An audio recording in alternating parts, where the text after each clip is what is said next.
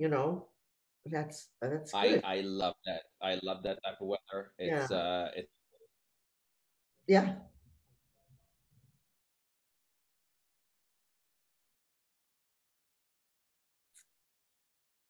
You froze. Are you? it's my favorite. And today it's sunny. Can you see me? There you go. I can there see we are. You there me are. Yes, I can. Excellent. You frozen Excellent. for a moment. uh, I think we're live right now, which is oh, which is a very good thing. So, uh, hello everybody. Uh, my name is.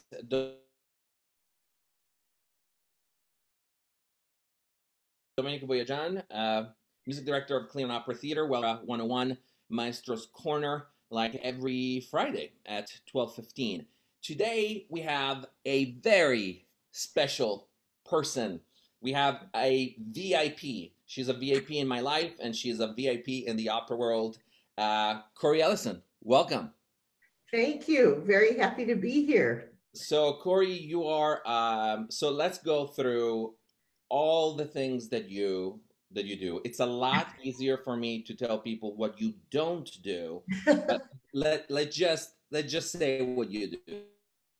Well, um, I mean, I'm a dramaturg, and um, I wish I had a nickel for every time people asked, "What is a dramaturg?" and "What does a dramaturg do?"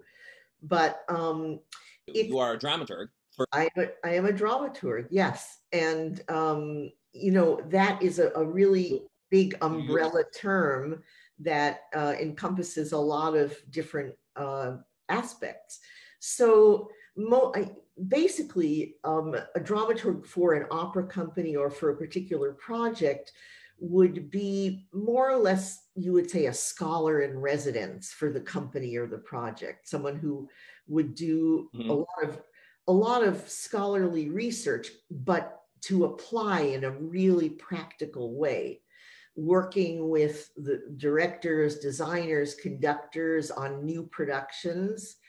And also these days, very importantly, and, and much of the work that I do in the past 10 years or so has been working with composers and librettists on developing new operas that are being yeah. commissioned. Yeah, it's that's so, actually something that I would like to yeah, talk about, we'll talk uh, about that. because I'm very interested on the subject. You are the yeah. perfect person to to ask these questions. So so we definitely have to uh, touch on those. Uh, the other uh, things, you know, uh, just to to continue that a dramaturg would do for a uh-huh. project uh-huh. or company usually would involve uh, curating um, publications and educational programs and also uh, participating in them. So those are more or less, you know, can also involve uh, writing and cueing super titles, which I've done quite a bit. Of. Yeah, yeah, quite a bit, quite a bit. Uh, but not only you are a dramaturg, you uh, serve on the faculty of the Juilliard School, uh, Vocal Arts Institute, and American Lyric Theater. And you also served as staff dramaturg for New York City Opera, Santa Fe, Santa Fe Opera, and Glyndebourne. Yes. Uh, oh, very proudly. oh, and and they were lucky to have you. Let me just let me just say that. Uh, however, you are also a singer. Yeah, that's my, you... my dirty little secret. Maybe we shouldn't have said it. no, no. I mean, yeah, no, that's my background. Of totally. Course. Yeah. Of course. Uh, and then, as you mentioned, you do you do titles uh, for many companies, including the Met. Uh, you, I think, I believe you worked on the Times and uh, other publications. I've written uh, as a freelancer, as uh, freelancer, a lot for the New York Times and other other publications. Yeah. Uh, and then you speak multiple languages. Uh, you have very varying degrees of, of fluency, but but I read and write them really well. Exactly. So with all the titles and all the languages that you get that you get, you know, in front of the knowledge that you have is just absolutely unbelievable. Mm-hmm. one of the things that I always told you, you just have the memory of I, I of a wizard. I, I I don't know how to describe it. You just remember everything. Well, I have I have a, an old friend that that always said, "Don't ever tell Cori anything you don't want her to remember." it's true. It's true. So, um, I'm just so, trying to keep memory up as as we age. You know, trying to those keep those brain cells lively. But but you know what? That's that's also what. Um, uh, what people are seeking from you. It's uh, it adds to the knowledge that you already have of of opera, of, of of singers, of productions, and on top of that, if you add the things that you remember, it's just it just you know uh, it puts in a very beautiful packed box. That's why people are always coming after you in, in a good way. I mean, in a good way. They they always want you they always want you to be to be part of their uh, of their of their company. Anyway, I've been very lucky, and I hope it continues. I always will. Yes, it will, uh, Cori. Even though these days these days are a little tough on on, on a lot of people, uh, especially the ones that are affected uh, uh, physically, uh, health wise, by by this horrible thing. Yeah. which brings me to ask you: Are you okay? Have you been safe? Yes, uh, very lucky, very very lucky to have have kept safe and healthy, and all of my loved ones and close people also. So good, thank yeah. God. That's yeah. that's the most important thing. Yeah. Cannot um, be taken for granted. Yeah, exactly, exactly. Um, so you already told us pretty much. I mean, it's very difficult to describe what a dramaturg does if if if you are either not one or not in the business us uh, I, I know exactly what you do and how important your your role is in any production whether standard rep or or, or new rep. I mean you're i think you're essential. Uh, but did you grow up wanting to be a dramaturg? Does cori ellison hey i'm six years old. I'm going to become a dramaturg. Well um, I think if I had known at the age of six what a dramaturg was, I might well have said that at the age of six. But I mean, what, what I consider is that I was born a dramaturg, but I only found out much later because, again, I had no, I, I had never heard of it. I had no idea what it was. But um, I mean, I got into opera at the age of seven, really by accident. I found uh, a couple of Mario Lanza singles nice. that had belonged to my late grandfather. And um, and I listened to them and I, I just like rocked my world. That was it. I mean, I just I didn't know I wasn't supposed to like it. You know, I had no prejudices, but it uh-huh. just blew me away. You know, it was uh uh O Sole Mio, uh-huh. Mattinata, uh, Granada and Lolita. and they just, it just blew me away. And literally from that minute on, I knew this was somehow going to be my life. I had no idea how. Uh, and I just, I followed that. I, I just never stopped following it. And it's kind of crazy sometimes because I made some impractical decisions based on that. All of but, us did I wouldn't do it over again any yeah. other way because it, it's led to such an incredibly rich life. So the, the, the music, people, the music, mm-hmm. yeah, the music. So was it the music that hit you, or was it his voice? Well, both, okay. both. I mean, it was a, a confluence, and it was just. Yeah. Uh, so from that point on, you know, so I started uh, studying acting and singing, and that's what I uh, concentrated on in school um, at, Hofstra University, which is a great theater school. I was a, a, theater arts major and a music minor. And then I went to Manhattan School of Music as a voice major. Yep. Because, you know, the what I knew at that time is I thought, well, if I'm into opera, then I'll be a singer, you know, and um, you know, I was I, a pretty good singer. I shouldn't say was because one never stops being That's a right. singer. That's right. Absolutely. And I, I think I I still see the world through the eyes of a performer, mm-hmm. which uh, I think gives me a lot of empathy for performers, which I think is is a good thing. Uh, but as I went through, you know, I, I finished school and I started on the aspiring young singer track mm-hmm. and did apprenticeships and gigs and and the more I was around, uh, the profession, the more I saw that my personality was a bit different from uh, many singers in that I loved best the big picture. I didn't love so much being in a practice room for hours and, and just concentrating on the voice. Um, I was interested in you know researching the background and you know translating and and i did all of those things sort of uh on, on as a, as side hustles you know i translated and i wrote program notes and uh and and i used to kind of resent that i got gigs doing that more easily than yeah.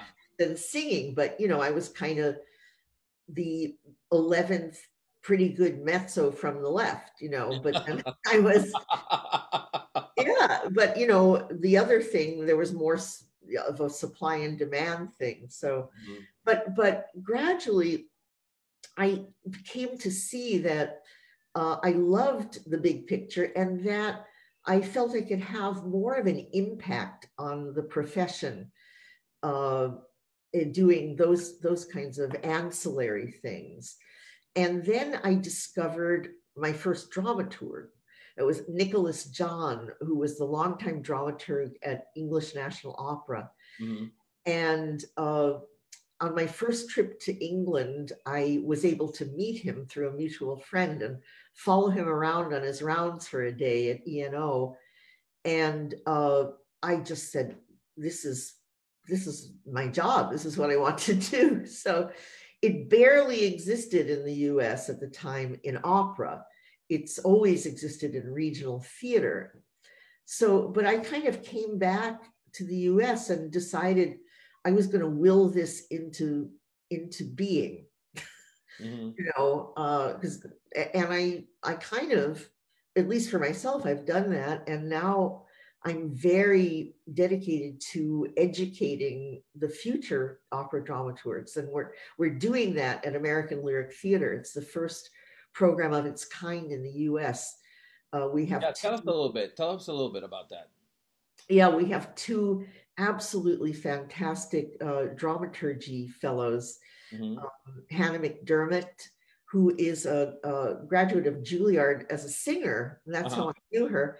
And Kate Pitt, who is a, a wonderful theater professional. Mm-hmm. So they, they come at it from different sides. But uh, I have high hopes for both of them. They're already doing really great work. That's great. Yeah. And I'm very, I'm really proud of them. That's and I, am also very grateful to uh, Larry Edelson, who is the founder and the uh, producing artistic director of ALT, where I also have for a long time been uh, teaching the uh, resident artists who are composers and librettists, helping to teach them how to write operas. Yeah, that must uh, that must not be uh, an easy thing. I mean, people people are very creative, and you have to, you know invade their creativity, but at the same time, you, you kind of have to expand it. You have to put water on the plant. Oh yeah, the plant has to grow by itself. Yeah.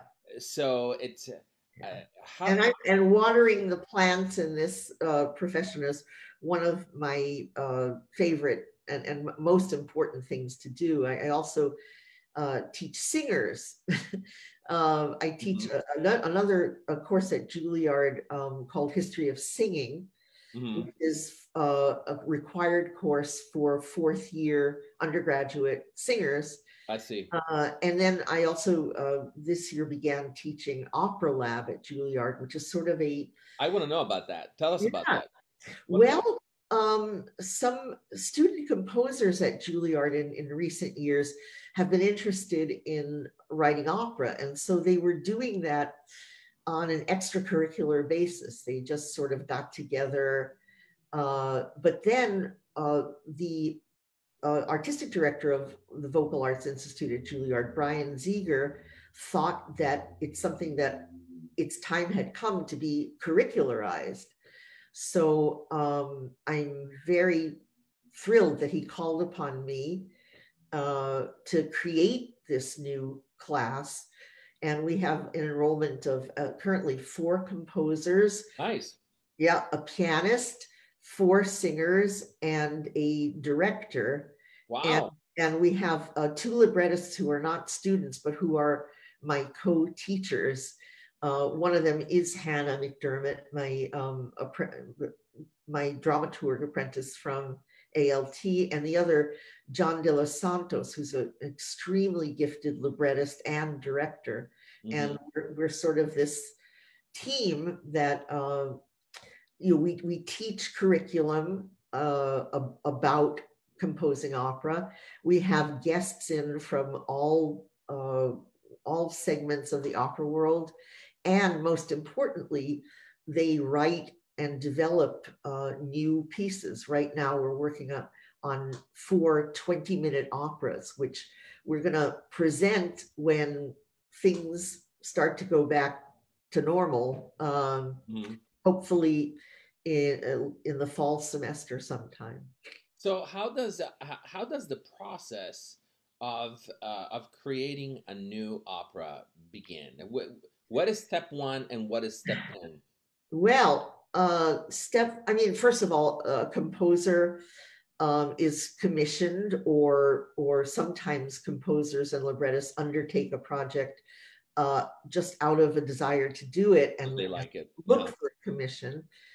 Uh, you know, it can, sometimes a composer can come to me and say, hook me up with a librettist, or sometimes a librettist comes and says, hook me up with a composer, or sometimes so the first thing that you do is find a subject, if that's not already been done. And then you sit, you know, as a dramaturg, I sit with the composer and the librettist once they have a subject and help them draft what we call a treatment, which is like the blueprint for a building, like the skeleton, uh, mm-hmm. all of, you know, the plot laid out in very uh, specific terms to create the dramatic arc. What's the inciting incident? What is the rising action? What is the climactic? Oh, I love it. I love it. What is the denouement? You know, uh-huh. uh, so that you don't want to start building the building, putting the bricks on and the mortar until you have the frame, right? Yeah, yeah. So that's exactly what you do with an opera. Once that is done, then the librettist can go away and start writing the libretto. Then you come back together uh, with the composer and we go through that and, and usually go through a couple of drafts to make sure it's what they want and need and it's clear. Mm-hmm. Then you'll usually have a, um, a libretto reading uh, for, for the public. Uh, and then what, what we do at American Lyric Theater and what I do in my independent projects is also have a uh, an audience response, a, a mo- moderated audience response. We use the Liz Lerman method, which uh, elicits constructive criticism, and you know it's a very uh, tightly monitored process for getting constructive criticism. Mm-hmm. And then uh, after after that, there's usually more revision of the libretto. And then the composer goes away and starts writing the music. Then we all come together again and go through some drafts of that. And at that point, we have a piano vocal workshop where we bring in singers and, and a music director and do usually rehearse and then do a public or semi public reading, first reading of a piece Mm-hmm. And again, the critical response process and some more revision. And then, uh, if it's possible, sometimes it's a luxury once it's orchestrated. And you don't want to orchestrate until the piece is is pretty set because once things are orchestrated you know it's like pulling a thread out of a tapestry you, don't, you don't want to mess with it um, but then you know to have an orchestral workshop with with feedback and and uh, public uh, you know audience mm-hmm. and then it's ready to go into rehearsal and be born to the whole world yeah so very exciting that yeah. process can take anywhere from two to four years, all of that from uh, the seed to the opening night. And it's different all the time. It's a, a chemical reaction between the creative personalities. Yeah. Uh, and, and, and I'm glad we are talking about this because um, uh, we, we do a lot of new works here in Cleveland. We are interested in doing a lot of new works. Uh, um, opera is not just old, but it's new. It's like every form of art. It's like life. Life is old and life is new. So there's absolutely no difference between the two. Uh, but I, I'm, uh, I'm, i really want our uh, audience to understand how long it takes to put something together from scratch yeah. uh, how much work it involves to get all these creative minds together. And they are not like sometimes people imagine us like uh, we are crazy geniuses with white hair sticking out. Well, uh, these days, a, a, lot of people have white hair sticking out. That's true. you know, that's a good. Point. That's a good point. But yeah. we also have to be very organized. We also have yeah. to be very business oriented, uh, because without those qualities, there, there's uh, creativity means nothing. Absolutely, just, it just means nothing. Absolutely. So one thing I, I, wanted to just throw in though is you know we we always read about how people like Rossini and Mozart wrote operas in two weeks or a month or something. You know, and that's something that can never happen nowadays. And it's not because we got dumber or something. Mm-hmm. it's just that it's a whole different ball game in those days operas were written very much according to strict formulae. Yeah. And that's something we don't have. You know one of the the only generalizations you can make about new opera is that you can't make any generalizations. There you know there's a plurality of styles and methods um, and and you, every time you start you start from scratch as you said. That's yeah. why it takes as long as it does.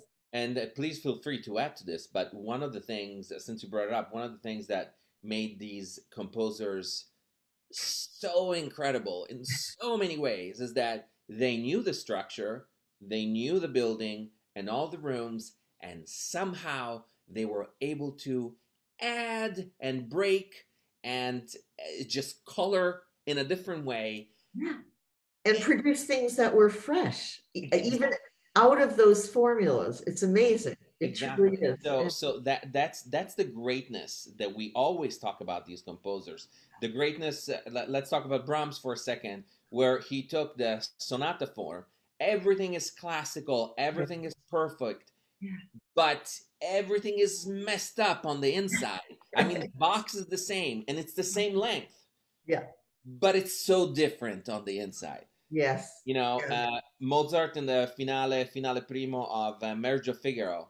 Uh, you know, it's yeah. it, it's incredible. You know, remember in the movie Amadeus yes. how he explained it to the uh, emperor. Yes. Uh, it's such a great scene. I say, I'm adding two singers, and then a third one, and then a fourth one, and we do 20 minutes of uninterrupted music which was mind-blowing at the time mm-hmm. and it's still mind-blowing it's it's incredible it's yeah. absolutely incredible if you just know that's what that's why history is so important if you just know where we were yesterday then you can definitely understand what's going on today and how great it is or not great sometimes you know yeah Oh, you're so, so, right. I'm like so on board with that. It's it's it's yeah. incredible what's out there, and and it's so exciting. And and I guess what you do and what I do, uh, it's for money, right?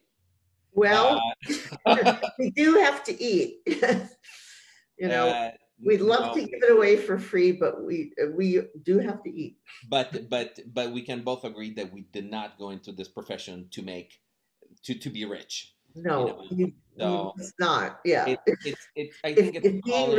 your, yeah. I mean, there's probably you know a, a top five percent yeah. of our uh, profession that makes you know very uh, that gets rich.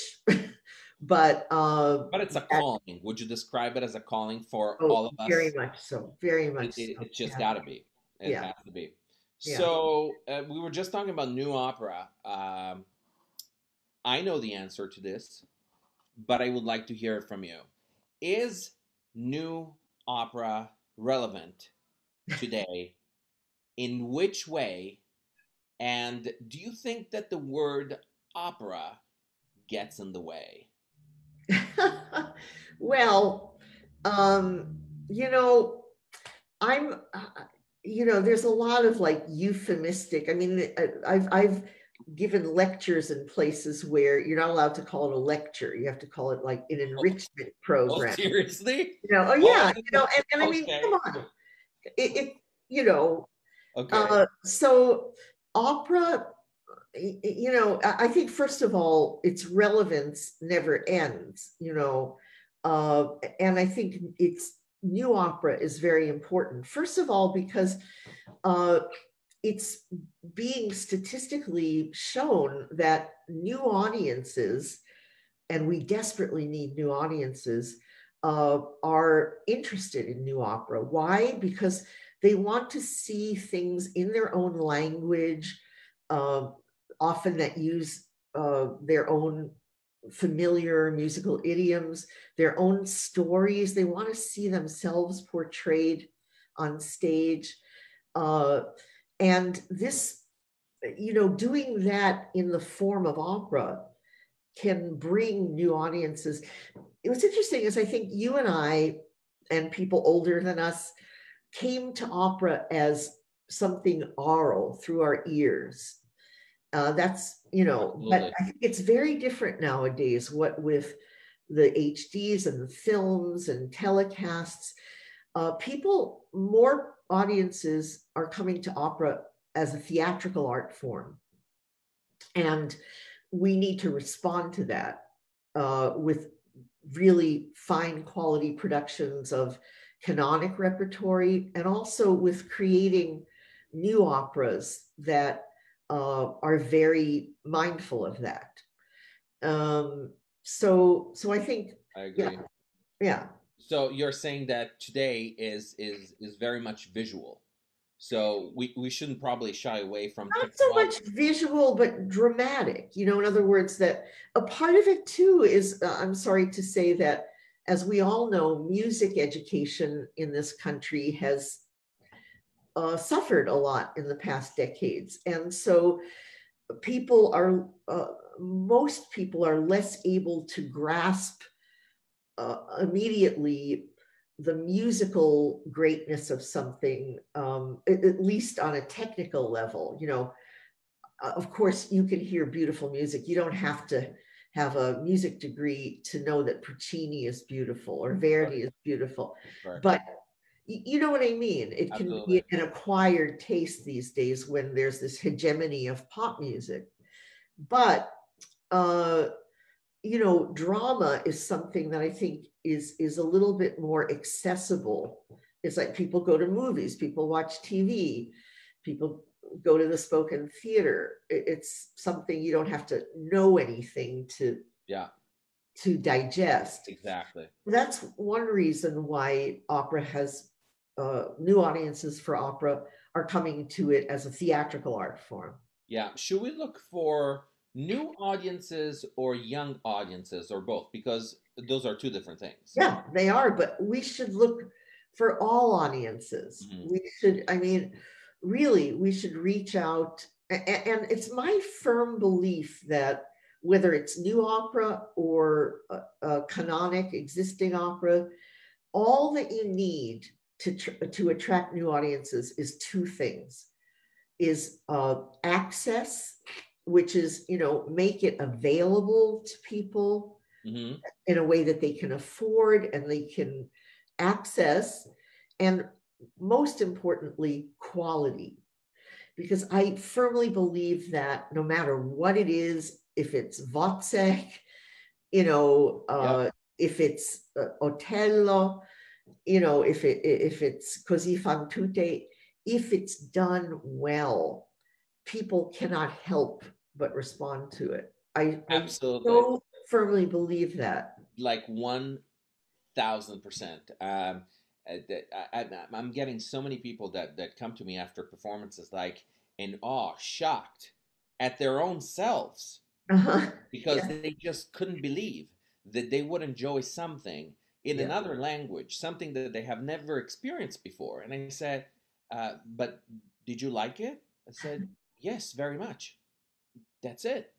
Uh-huh. That that that's all you need. You have all the necessary tools inside of yourself from day one yes. to being able to appreciate anything in life. Either you appreciate it or right. you don't. It, I think that it's that simple. Yes. You know, you don't have to explain to me why you liked it. You know. I'm, I'm doing it for you. Not it's it's not a lecture. It's not um, a music uh, exercise where you come to me and say, "Why did you like it, John? Did you enjoy the first violins?" No, this it has nothing to do with that. It's yeah. just you're my audience. I'm I'm. Um, it struck something in you, whether correct. Yeah, it, it, touched something in you. It made you feel something. That's right. That's yeah. right. Uh, and all of us have our own way of, of judging if we like something or not. I usually have goosebumps out of the blue for even an art form that I'm not familiar with. So I'm, I'm, I'm telling myself, hold on a second. My body right now is telling me, and my mind and my soul is telling me that I'm liking this. Yeah. So I'm trying to connect to my brain and say, hello, brain. Let's try to understand what the other parts of your body are trying to tell you right now. You know, but but it starts from here, and it's a very interesting yeah experience for me when that happens, you know. Yeah. Um my goodness, I, mean, I have so many things that I want to ask you, and and we don't have hours here. We absolutely don't. Um, uh-huh. So let me ask you this. So since we started talking about audience members, uh, uh, I, I, get a lot of questions that are extremely difficult to answer, which are, uh, what's your favorite composer? What's your favorite symphony? opera i mean it's just impossible it's just impossible to to to answer uh, i'm going to do the opposite i'm going to ask you the opposite of that uh, not what's the worst but in uh, in, in, in, in your own uh, dram- dramaturg world writer a singer your experience um, what does it mean this is a challenging opera. Which which of all operas of the standard repertoire out there are challenging for Cori Ellison? Well, for any dramaturg or or really any uh, conductor or director or a company approaching them, two of really the greatest operas ever are the the most uh, hands down. I think the most challenging to put on uh, and those are uh, the Tales of Hoffmann mm-hmm. and Don Carlos of Verdi. And the reason is the same, well, not exactly the same, but similar for both of them, is that um, for both of these operas, uh, they exist in a number of different editions. There is a multiplicity of materials um, that exist, you know, uh, that uh, you know you you have to before you put on a production of it you have to decide what you're going to do it's not like bohème where you open up the score and bohème is bohème you know mm-hmm. no it's like uh, you have to decide uh, you know for instance uh, tales of hoffmann uh, offenbach died before it was finished and so for instance the venetian act is uh, just a fragment. And other composers and producers came in and pulled things from other ones of his operettas because it was his only opera. And you know, he was a composer of like, you know, just frivolous, really funny, witty, wonderful operettas all his life. And his magnum opus was this, what he wanted to be a grand opera which is the it, has its light moments, but yeah. it is the most serious, uh, moving contemplation of an artist's re- relationship to their muse, mm-hmm. and uh, both literally and figuratively. So you know, but he he had different versions of different movements, and he had a bunch of extra arias that were lost, but then rediscovered at a certain point in the late 20th century. And, you know, you cannot possibly do a production of hoffmann using all of the existing materials. A, it would be as long as Götterdämmerung. and B, you would have the same things over again, you know, like two versions of the same uh, piece, mm-hmm. and, and, it wouldn't make dramatic sense. Uh-huh. So you have to really choose. In the case of Don Carlos, he uh, Verdi wrote it as a French opera for yeah. the, the Paris Opera mm-hmm. in the proper five act format. That's right. Uh, and then, and it was quite long. Mm-hmm and then uh, produced a, a, a, version for Italy, which he knew that the Italians, with all due respect, have less have less what we call Sitzfleisch, and he pared it down and kind of, you know, you know, mixed and matched things, got rid of the first act more or less, but took things from the first act and put it later on, and so on, and and then he revised it and also, Don Carlos is sort of, in a way, uh, one of the two culminations of this period in Verdi's life where he was absorbing the influence of French grand opera a la Meyerbeer and, and kind of combining the uh, political aspects of his earliest operas, mm-hmm. uh, the, the political epics with the more personal stories of his second period operas like Traviata and, and Rigoletto, and uh, making this big canvas where what you have is an intimate, like let's say a love triangle that is intensified because every move that these people make has an effect on nations. You know, uh-huh. they're kings or princesses or and, and they can't make a move without thinking of millions of other people. So uh, Don Carlo, uh, or Don Carlos in the French version, yeah. is such an opera, and it is Verdi's most sprawling kind of, you know, messy opera. Yeah. But but in a lot of ways, I think the greatest. And then he went on. The opera after that is Aida. Uh-huh. Has Aida has this virtually the same form, but it's clean as a whistle. There's not an ounce of fat on it. It's like he solved all the problems of Don Carlos in Aida. But to me, Don Carlos is always the more interesting piece because it's so problematic and so heartfelt. Um, anyway, I'm sorry I went off on a no, big no, it's perfect. Tangent there. I love. That's that. You know, I I just love to hear everything that you have to say. It's it's so interesting. It's so interesting. Uh, in fact, uh, it's funny you mentioned it, that, that, that you mentioned Verdi because it's our Verdi month. So we feature a different composer every month, and we started with the greatest. I it's tough to say, you know, uh, but. Uh, as as you as you can confirm, the journey that this man had from age 11 when he was playing organ uh, in the church across from the house where he was born yeah. until his last opera is yeah. mind blowing. It is. It it's, is, and it's the most. Uh, I think of any composer, you can really trace his progress. Yeah through the operas themselves and through his correspondence yeah. that you can really see the process of his development.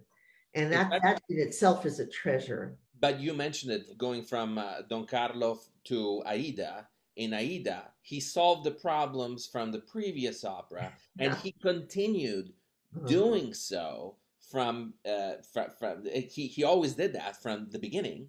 Yeah until the end, where at the end he sounds like, uh, oh, this this sounds like Puccini, uh, and at the beginning. Uh, this sounds like a, a, a, town band, and it, there's nothing there's nothing wrong with that. No. This this is what he was exposed to.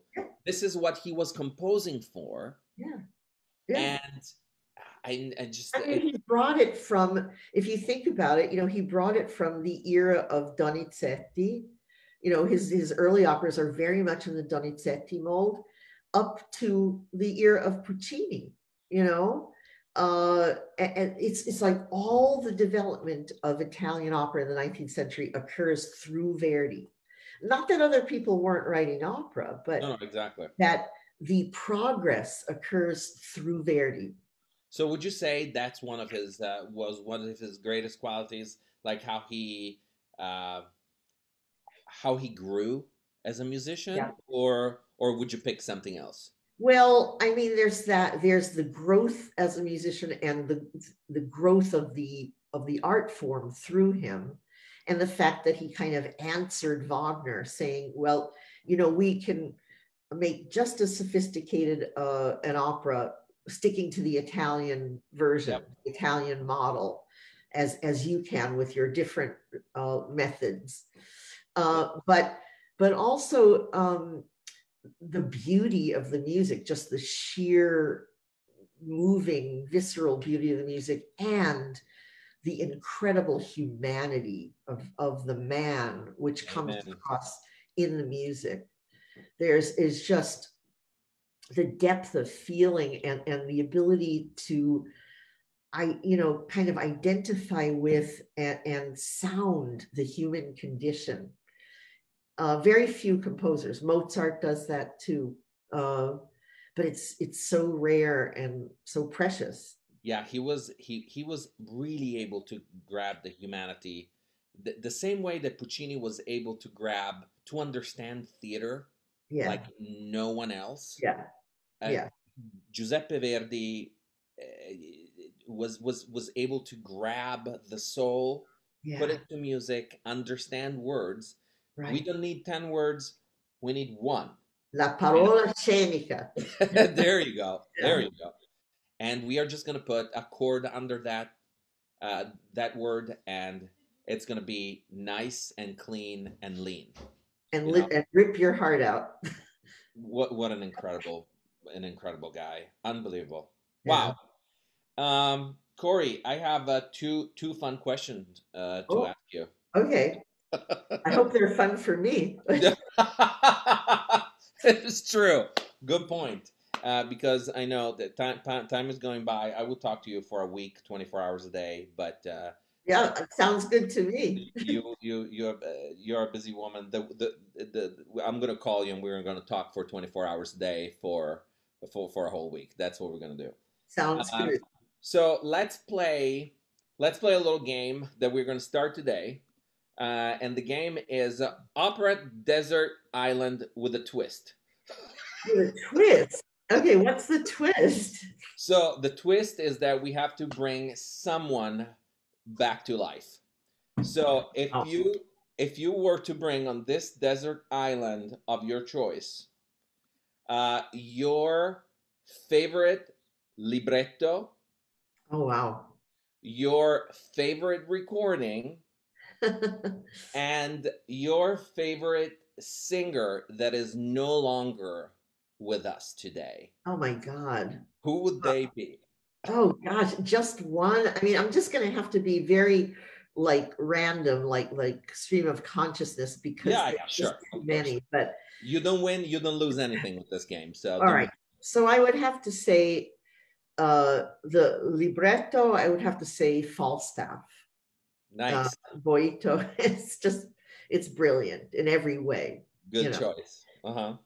It's it's a, a brilliant adaptation because it's not a slavish adaptation. It it it uh he takes Boito takes the Shakespeare, Merry Wives of Windsor, one of the inferior plays of Shakespeare, uh-huh. actually. And it's just and knows not only knows how to make it into an opera, which is a different animal, but also brings other pieces of Shakespeare into it, sonnets, even a piece from the Decameron, not by Shakespeare, by Boccaccio, uh, you know, excerpts from the Henry plays, makes a masterpiece. Genius. For, for Verdi to build on. Genius. Yeah. I love it. Absolutely. I love it. And for recording, recording, I mean, well, what pops into my mind because of that is uh, the Toscanini recording of Falstaff, nice. which, which, is, wow. oh, you know, I mean, Toscanini just got it. You know, really he understands. He just understands yeah. how it's yeah. supposed to be done. So, yeah. for the people that are listening to us and want and want to hear it, do you happen to remember which year or approximately what year? Uh, it's from the 1950s, and it okay. was on RCA. Okay. Uh, it's very much available. I know it, it's certainly on Spotify. Yeah. Uh, and you can buy it, you know, um, on uh, you know any place like you yeah. know Amazon or Amazon, something. Like sure. It, thank goodness, very much available. Yeah, yeah, yeah. Very good, very good. How about a favorite singer? Oh gosh. well, I, I mean, I suppose I would have to say, I mean, you know, I would have to say Maria Callas because she's just everything. She's the most all-encompassing, I, you know, just a, an incredible artist who really, I think, revolutionized opera in the 20th century. She brought back a, a whole repertory that had been neglected, bel canto, mm-hmm. and, and she also uh, brought us a new standard of performing opera. Uh, she raised the stakes for acting and interpretation. And uh, she left us such a legacy of i never of course got to hear her live but um, you know and i think she was probably a very interesting human being a very complex human being but very smart and very interesting. I remember when talking to my dad about opera how he would melt uh, when he he would talk about her and and watch a few videos and when i was talking to him like 20 years ago. Uh, there wasn't YouTube or anything like that. So if, if there was something on TV that he would want me to watch, he says, "Come, come and watch this. Look for this. Listen to that." Uh-huh. He, would just, he, would just, melt, and he didn't do it for every singer. No. you know, including himself. He was very, he was very, you know, uh, what's the term I'm looking for? Uh, uh, uh critical self-critical. Exactly. Well, he was a pretty great singer, and as you know, I did have a chance to hear him, uh, which I'm very glad. You know, I'm very glad that I did. Yeah, my dad. Very, very, you know, real Verdi baritone, very special. Thank you. Yeah, I, I know he appreciates it. Uh, last question, Cori. Uh, just just to get to know you very briefly, uh, on top of what you already told us, if Cori Ellison didn't become a dramaturg, what was Cori Ellison? Uh, what, what, was she going to do in life? Oh gosh. Well, um, I mean, you know, I was studying to be a singer, uh, so I probably would have ended up being you know, a singer who works, not a superstar, but a, a well regarded singer who works uh, when I was a little kid, I had periods of wanting to be an astronaut or a doctor, you know, uh, a, a, newspaper reporter, which I have been actually, you know, uh, I have been a journalist. Nice. Uh, so you have a few things that you wanted to do. Yeah, or, or the also the ultimate escape fantasy to be a chef. Of course, me too. That's even more difficult. exactly. I mean, you know. Exactly. It, but 12 hours in the kitchen in the heat, everybody screaming at each other. At least that, that's how I imagine it. Yeah. In my own, in my own mind. Right, right. So, but I do love to cook. Yeah, and that's one thing that the pandemic has given us all a chance to cook a little more. That's right. And look for new recipes, right? Yeah. uh, Cori, uh, thank you. Thank oh. you so much for for talking, for taking time to, to talk to me, to to to us uh, here in Cleveland. Uh, you're wonderful. You write wonderfully. You talk wonderfully. You know everything. Uh, you have been, most importantly, you have been a very good friend. Uh, oh, you are, vice versa. you're one of my top five friends. Oh, uh, I love you dearly, and I love uh, you too. And thanks so much for for oh. just giving us your time. I really oh, my great pleasure. Thank you so much for inviting me. It's been really fun. Wonderful. Let's do it again soon. Yeah. Thank you, Cori. Bye.